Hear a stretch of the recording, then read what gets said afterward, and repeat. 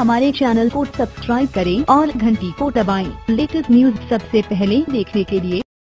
अपनी चरम सीमा पर है, लेकिन इस शो की सीमा खत्म होने से पहले कुछ कंटेस्टेंट अपनी सीमा क्रॉस कर चुके हैं। यहाँ हम बात कर रहे हैं उन दो कंटेस्टेंट की जो घर में एक केकड़े और दूसरा बैल बुद्धि के नाम से जाना जाता है।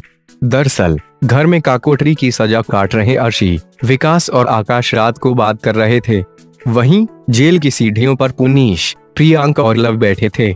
इस बीच आकाश ने लव को धोखेबाज और ज़ीरो कहा, जिस पर लव ने कहा कि तुझे ऐसा तोड़ूँगा जुड़ नहीं पाएगा।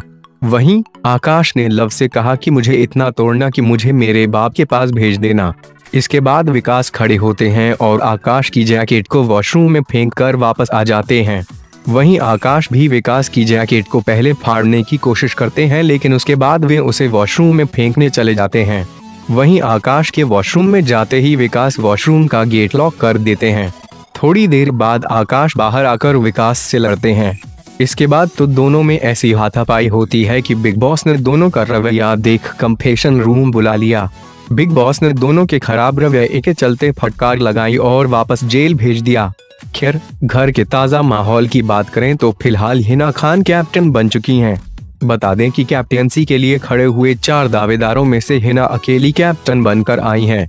लेकिन इसके पीछे भी प्रियांक और लव की बड़ी चाल थी जो हिना खान देर से समझ पाई।